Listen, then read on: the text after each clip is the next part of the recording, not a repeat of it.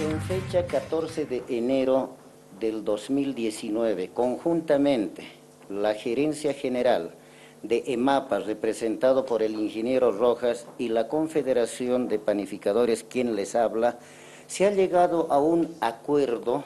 donde EMAPA se compromete a la dotación de harina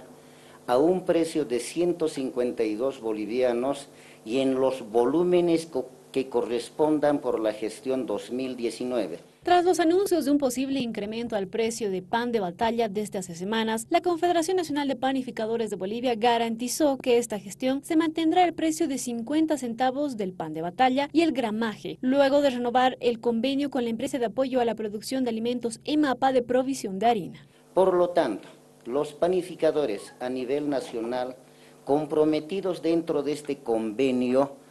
que no van a alterar por ninguna razón el precio que actualmente se está vendiendo en 0,50 centavos, menos el gramaje que se trata dentro del 65 y 70 gramos,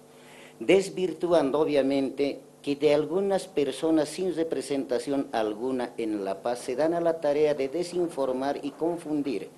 a la población y desprestigiando la institucionalidad de los panificadores. El sector expuso que no se incrementará el precio del pan de batalla, esto acordando con el gobierno central en base a un compromiso realizado entre ambas partes que garantiza la dotación de harina por parte de MAPA a 152 bolivianos el quintal, lo que permitirá que se pueda evitar la subida del costo de uno de los productos fundamentales de la canasta familiar. Eh, mire que de acuerdo a los requerimientos son cuatro bolsas diarias y al mes eh, se hacen 120 bolsas. Creo que de acuerdo al mercado es eso, excepto que algunas unidades productivas necesiten más, quiera sea o no, pero en un porcentaje mínimo van a necesitar de la harina argentina, pero es, es mínimo. También se explicó que se están utilizando en